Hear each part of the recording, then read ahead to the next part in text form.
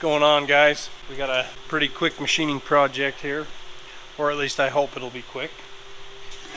This is a irrigation valve, and the problem, I've already got it kind of tore apart here. This shaft runs down through the stem here. You got the handle, goes on one side so that you can turn it, turn the valve on. And then on the other end, I actually machined this piece before, but the measurements on the riser in the ground are weird. They're not standard. I'm thinking maybe they're metric because they're they're like in between a 16th or something. So I'm gonna have to redo this piece. I want to do the same type of piece here and I'm going to build it out of stainless so it doesn't rot out like the last piece did. The problem is this hole is not big enough but if I drill it out the stem piece is a heck of a lot bigger than this is. The problem with that is there won't be enough meat left here if I drill that out that it will hold up. I'm going to have to go bigger on the OD here and then machine the center hole down and then I'll machine the slots here so that it can grab the pin at the top and open the riser so we're gonna get over to the lathe and get started okay so here's the piece of material I've got this is left over from the pump shaft build that I did uh, the guy I did it for just gave it to me and I kind of like that because then I can use it for other jobs and stuff I believe it's inch and a quarter so it is stainless. We're to go ahead and just use a little piece off the end of this.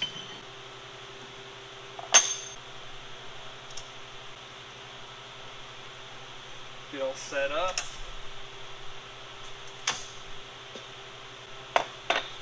Okay, we're to face this off.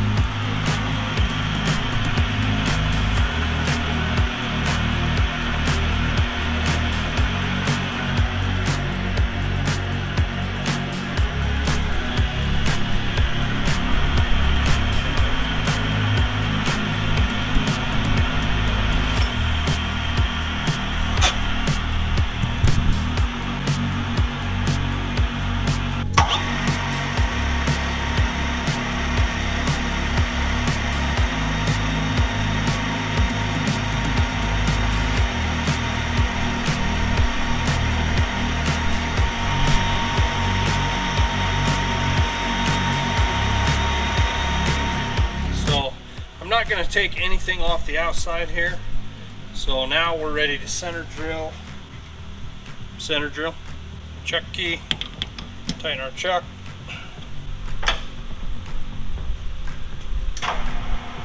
That's about where we want it.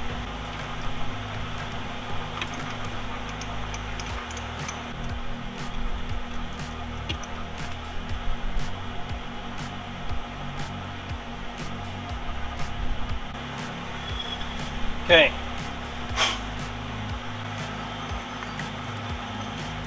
Center drilled. Now we got to get our drill bit set up.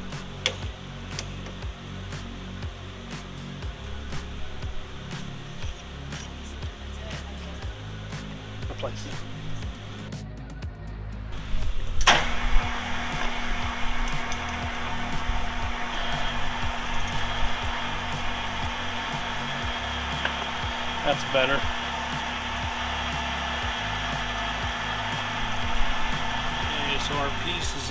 Chuck. We've got about 70 thou to take off before it's to inch and a quarter long. So we're gonna go ahead and face that off. Fire in the hole.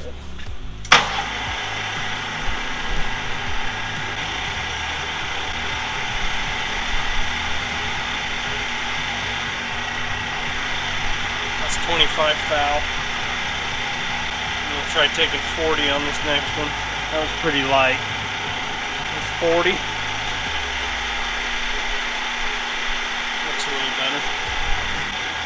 Okay, now I'm gonna check my measurement. I'm just flipping my calipers over on this just to see how close I am because it's in the chuck and I can't get the jaws on it. This is good enough for what it is. It'll get me close enough. So we got about 50 thou to take still.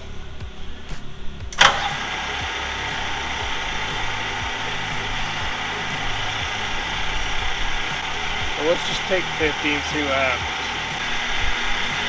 After I get this length cut, I'm going to chamfer the outside and the inside.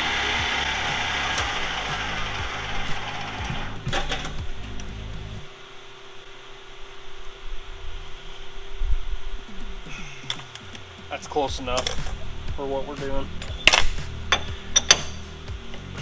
I'm going to grab my other tool.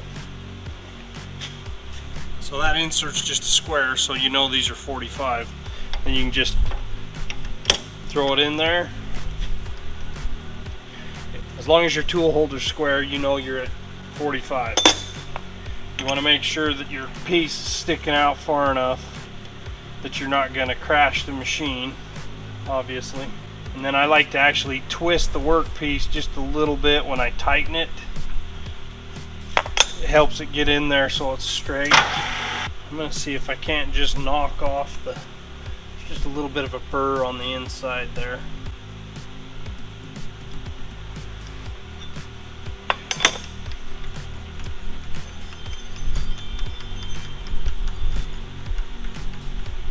You can't go in super far because you'll hit the tool, but should be just enough.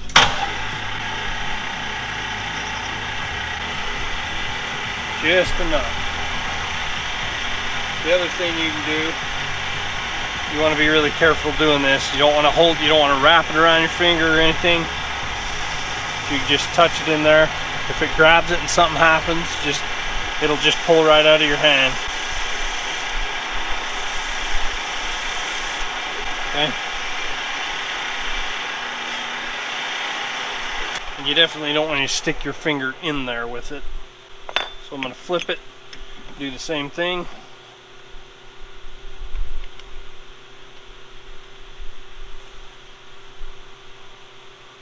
We'll start with the inside since that's the tool that's in.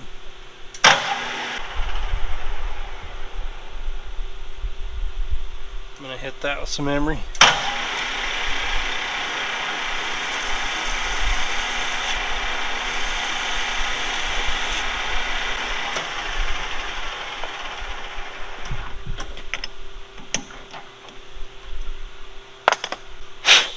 Okay, there's our piece.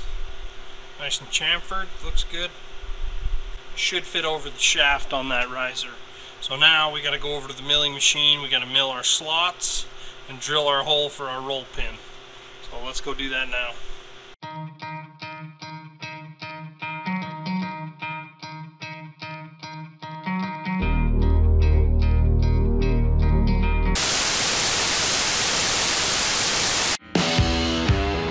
It's time for today's super cool tool.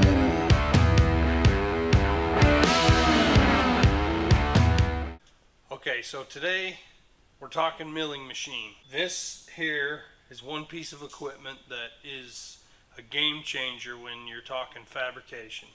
This machine is basically a drill press on steroids. And when I say that, what I mean is the table, you can lock it this particular model has a power feed on the y-axis, so you want to make sure your table's unlocked. Okay, I can set this to a variable speed, and then it will just move the table and cut a slot or machine or whatever it is you're doing. You can slow it clear down to where it's barely even moving. You can speed it clear up. Okay. It's also got a rapid traverse button here. Sometimes it takes a second to kick in.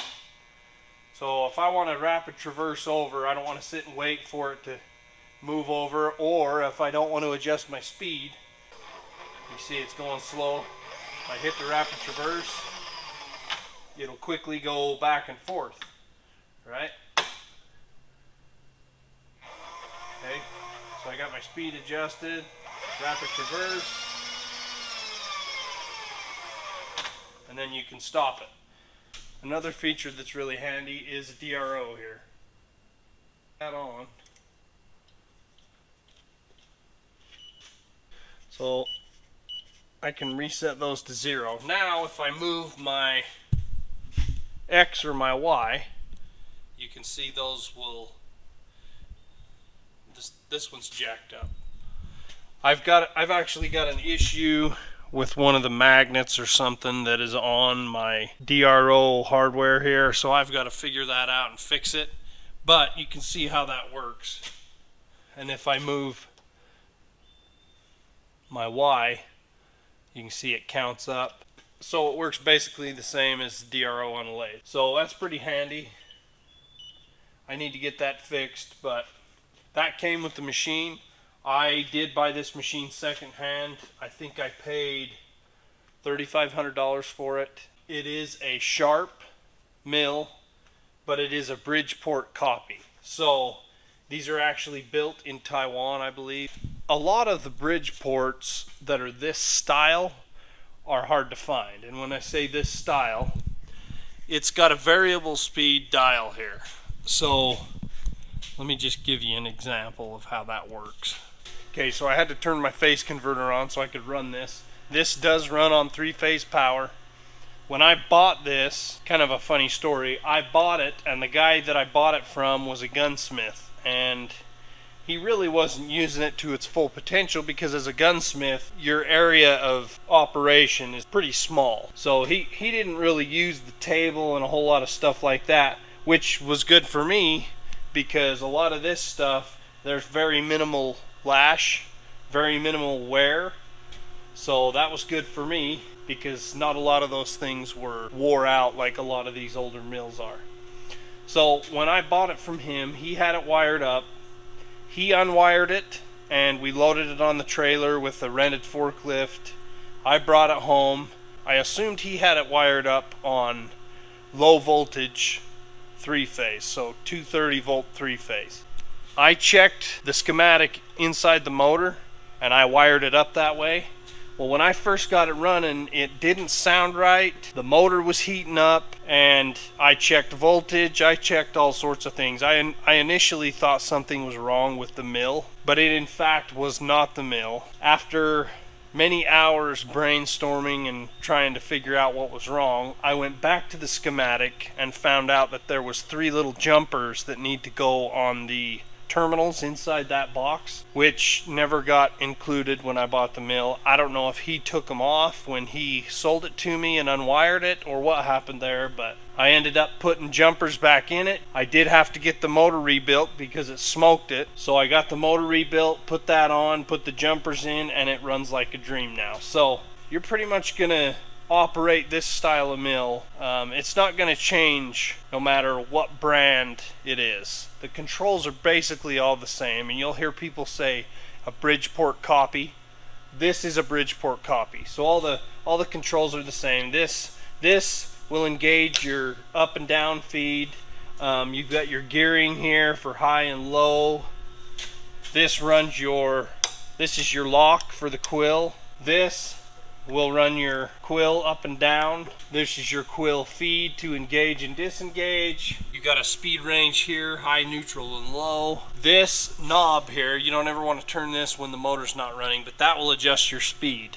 This is a lock for when you're loosening the quill up here. You can push this and it will lock that so that you can use your quill wrench.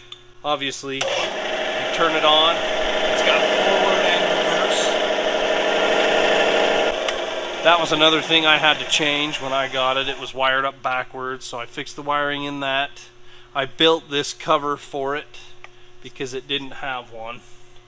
And I was worried I was going to stick my hand up there and get zapped. You've got different oil ports and grease ports here just to try to maintain the machine. Uh, there's a few things on this that were a little bit uh, jimmy rigged.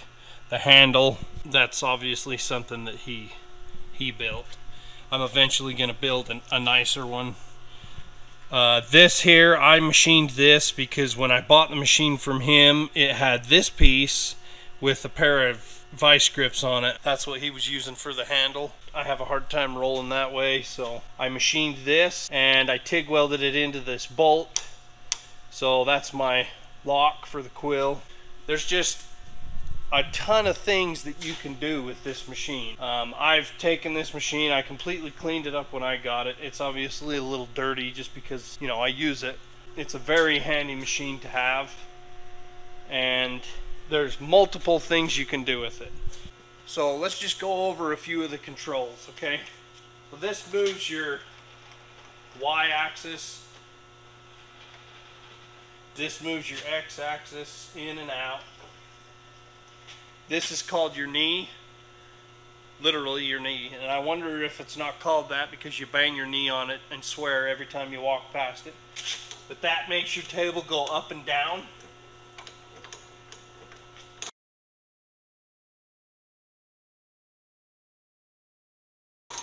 This head will pivot this way, it'll pivot this way, and then this section of the head can spin this way. So there's not a whole lot you can't do with the milling machine. You've got high and low, you've got your quill feed here, which engages this. So if you want to, like if you're running a fly cutter and you're boring a hole, you can use this to engage it. And then when you pop that out, it will feed down. That disengages it. You can adjust your speed here. This is your handle for your quill. This is the lock. Your gearing is over here, so you got a speed range of high, neutral, and low. Your quill is up here. It uses this quill wrench here. That's how you loosen things and take things out. When you do that, you use this lock loosen that up, and then you usually have to give it a tap. And that pops it loose, and then you can pull it out. Those are the basic controls that you need to know to operate a mill for things like drilling holes and if you're face milling something. Like I explained before, you've got forward, off, and reverse. We kick it in forward, and then you use this you only want to use this dial when it's running and you can speed it up or slow it down. See, that speeds it up. So now that's turning faster. If I go the other direction, it's going to slow it down.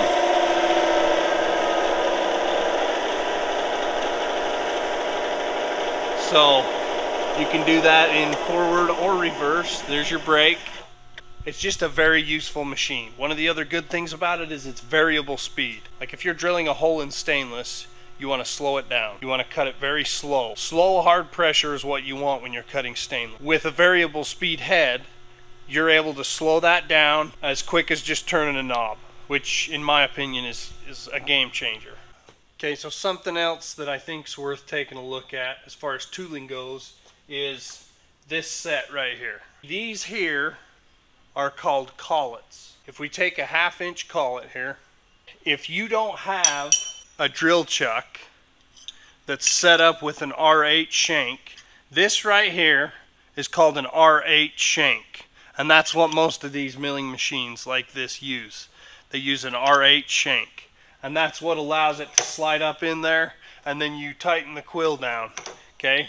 So if you don't have a drill chuck, with an R8 shank that you can put a drill bit in that. You can get a collet set like this, and that collet will slip over the drill bit, okay? And how it works is it's got these slits in it. And then when you slip this up in the mill, and you tighten that down, as you tighten the quill down, it's going to tighten that down to where those slits tighten down on whatever it is you're clamping in there. You can use this with end mills, you can use this with drill bits, any sort of tooling that has a round shank like that, what you do is you just match. You can see they've got a size on them. This is a 9 16 So you just make sure that that is the right size for whatever kind of tooling you're trying to use. Obviously collets are a very useful tool with the milling machine. Okay, moving on. This set here, obviously You've got different sizes. These are end mill holders. End mills typically only have a various size of shank on them. So, you know, on this one you've got a 5 8 shank, half inch shank, 3 8 shank, 3 quarter shank, and 3 16 shank. These are nice because you just tighten the Allen screw down and it locks the end mill in. It does have an R8 shank on it, so it slips right up in the mill. You can see they all say R8 on them. So just some more tooling for the milling machine. If you do have a milling machine, this is one of the first things you probably want to buy. And this is the tooling set for blocking things up. What you can do is you can take these and there's all different sizes of bolts. but what you do is you take these, which is called a T-nut, and then you've got just these regular nuts. So you take the T-nut, then you can take and screw your bolt in. And you can take these, okay? Let's say you got a part that you've got a, a large part you've got to set on your table. So this part slips over the, the bolt and then it obviously matches up in those teeth. This end where my hand is will sit on top of your part and then you will take your nut and you'll tighten that nut down and it will clamp down your part. So there's just a lot of uses for this kind of stuff. The other good thing is I like a system where you can take and put all your tools back and then you know exactly where everything goes. You know there's nothing missing. That way you keep track of all your tools and I can look at this set and I know that all my parts are there. I like things like that.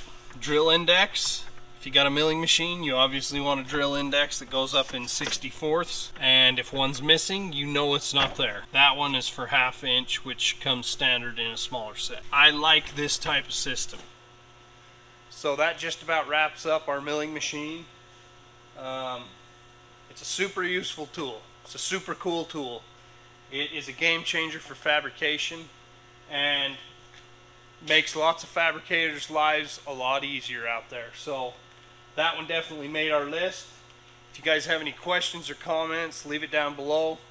Um, and if, if you guys have a certain tool that you've seen me use that you would like me to show on Super Cool Tool segment, then let me know. Leave a comment and I'd be glad to accommodate you guys. So let's get back to the project. Okay, so we got a centering head on this. I'm just getting ready to tap it with a hammer to put a center pop on it so that I know that I'm lined up center with the hole. Give it a little pop. Gives us a nice little mark on it.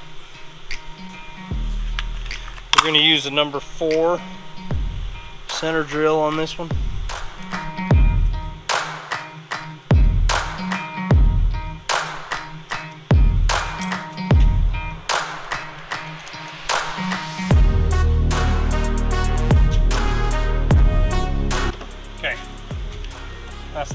Perfect.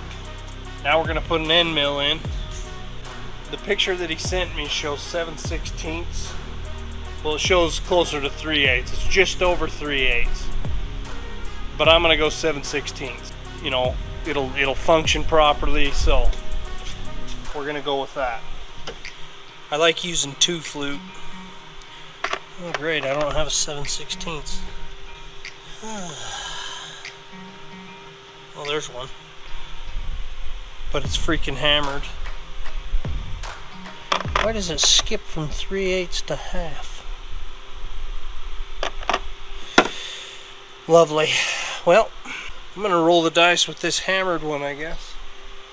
Since it's all I got.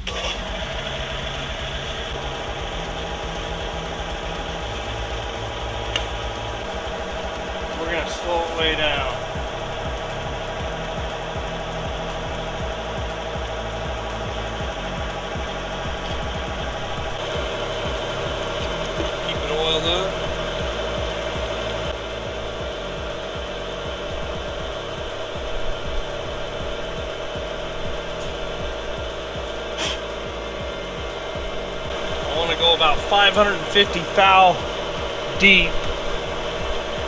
I would have set my DRO, but it's jacked up at the moment, so I'm just to do it the old-fashioned way. It's actually cutting pretty good now.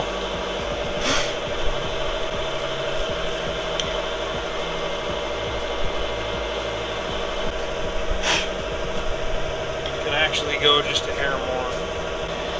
Yeah, there she's cutting. Okay, we're there. So I've got to flip it now. What I should have done was marked it with a sharpie, and then I could have transferred it over, but I didn't. So I'm gonna put this back on. There should be just enough showing there that I can put a center pop on it. And then once I get that on, I'm gonna transfer it around to the other side. We'll go to that point. We got a center pop on there. You can see we got our line transferred. I was able to get a center pop on the inside and transfer the line from the inside to the outside. Like I said, it's going to be close enough for this. If it was something high precision, I would have to figure out a different way. So for this one, it's going to be just fine. So I'm going to get it all set up with the center drill lined up and then throw this back in. Then we can start milling it.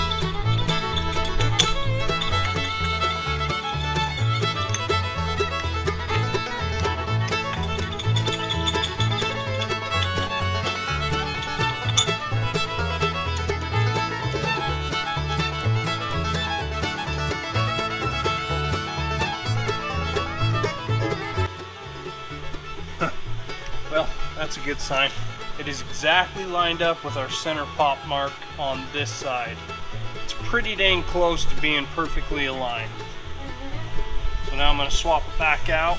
I've got my Y travel locked in so that it won't move side to side, but I can still move this way.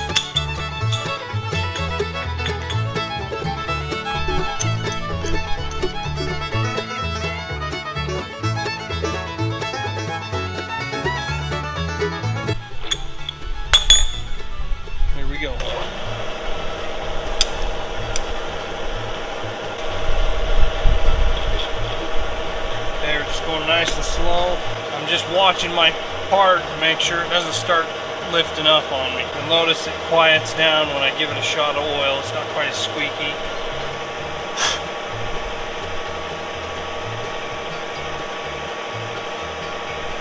We are good. Okay. Slots are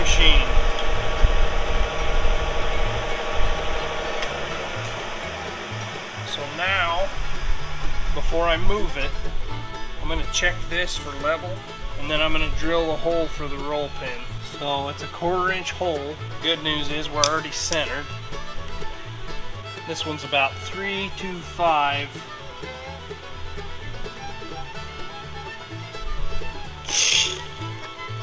Okay, so you can see here's our here's our old one. Here's our new one. It's a lot more meaty looking. Same principle, same looking part, but we're bigger here so that we can slip over the center shaft on the riser. And then we also went a little bit bigger on our slots just to make sure that they slip over the T section. So let's get those cleaned up and then we'll start reassembling.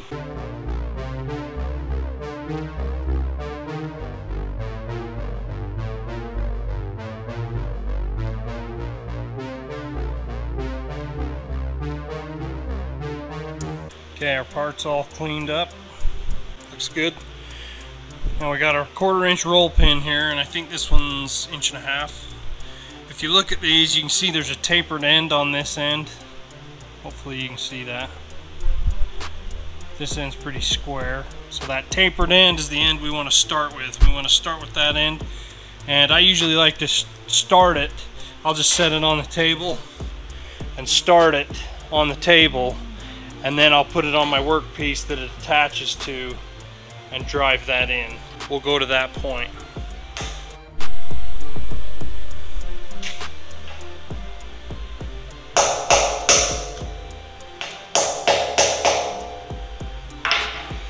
Okay, so we got it started. As you can see, I've uh, put a bushing in there. I used that other one, machined it down just a little bit, and built a bushing because I'm a moron and I machined this whole thing out to be the size of the stem on the riser. Well, I should have had a step in there that stepped down from 7 eighths to 3 quarter and I didn't. So then when I put it on and there was all sorts of slop, I said a few choice words and then I went back over to the lathe and turned that old piece into a bushing. So this is going to work. I mean, it's a valve, so it's a uh, little modification there. You can see that there's a step in there, so I just used it as a bushing. I had to tap it in there with a hammer. I mean, it isn't like it's on a machine spinning 3600 RPM or anything like that, so I think it's gonna work. So let's see if we can't get this pin driven on here.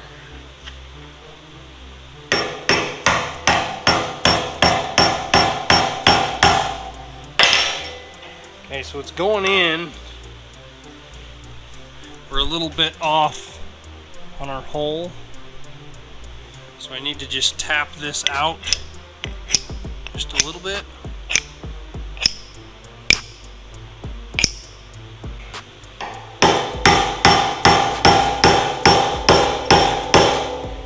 Okay. As you can see, it's through both sides. Sucker's nice and tight. Even with the creativity of the bushing in there, that's still solid. It's gonna work just fine. You can see whoever built this, which was not me, that hole they drilled through this is crooked. That's kind of why we had to fight it just a little bit to get it through the hole the rest of the way. Once we got through the other side, it's gonna be okay. So now what I do is I'll probably drive this one down the rest of the way until it's flush and then I'll take and cut the rest of this off, hit it with a buffing wheel or something so it looks good, it's nice and smooth, it's flush, and then we'll put the rest of the valve together.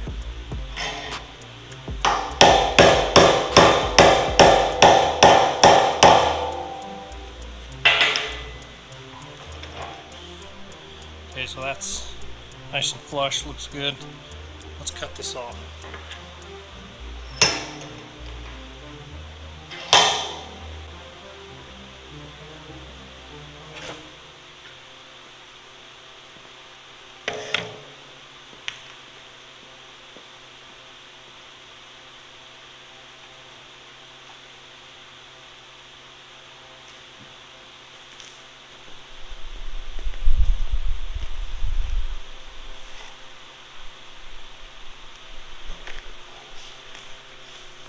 I'm just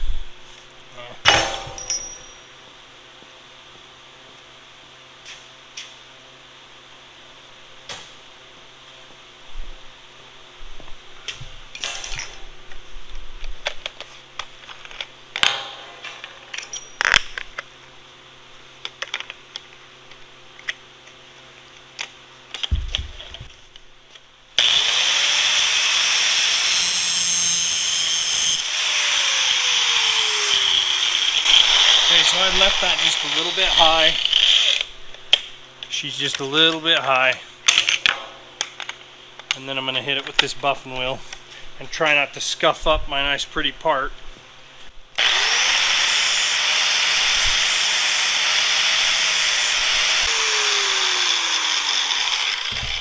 Bam. I like it. Okay. Now we got to put the other end on. So what we got to do here This goes up through here.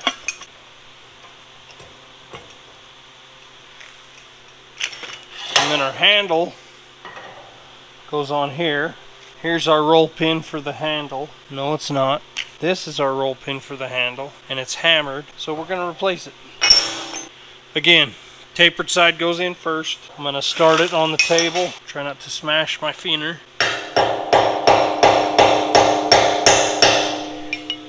Sometimes it takes some pressure. I mean, you can look at that spring pin and see that it is under some tension right there where it first goes in, which is what you want, but sometimes they take a little bit of coaxing to get them going.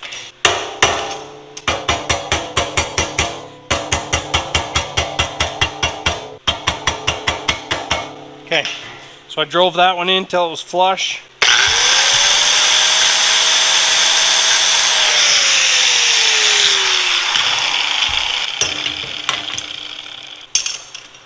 Same thing here, I'm going to cut that off and then hit it with the buffing wheel. She'll be done.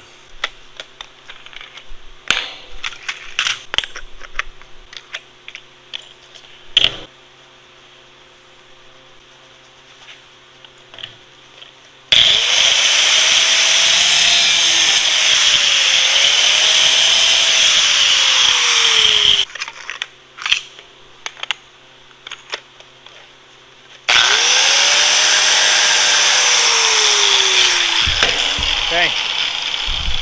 So you can see there, our part, that drops in over the riser and then that'll turn it on, on or off. Our handle is good. Alright.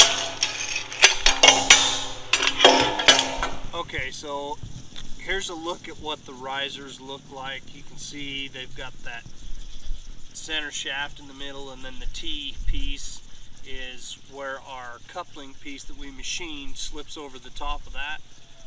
So that just kind of gives you a visual of what we got going and why we had to machine it the way we had to machine it. And then you've got the valve that clamps onto that collar down below it. That'll just give you guys an opportunity to understand what we got going. So when you operate this, you just push this valve down. The pressure makes the valve handle stick up. And then you'll feel it. You can feel it fall into the groove. And then obviously if you let it go, the pressure's gonna make it stick up. And then there's what's called a chevron gasket in here. And that's what keeps it from leaking all over. The pressure pushes the handle up and seals that. I know because I had to replace it. Because when we first put it on, it was spraying water everywhere. So Farmer Ted went ahead and got another chevron gasket. And we threw that in there. And now he's back up and running. So that's going to wrap this one up. Appreciate you guys watching. See you on the next one.